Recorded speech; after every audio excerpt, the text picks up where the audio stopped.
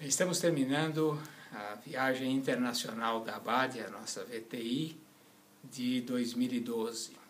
É, nesses últimos cinco anos, passamos por oito países e certamente em cada um deles vimos coisas interessantes, coisas que podem ser aplicadas pelos atacadistas junto aos seus varejistas, no sentido de melhorar os seus negócios.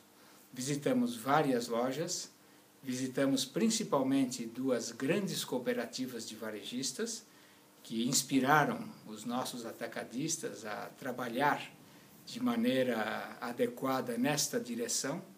E certamente os atacadistas aqui presentes vão poder levar para o Brasil e para os varejistas que estão sendo atendidos por eles novidades, coisas criativas que vão melhorar o desempenho de todos.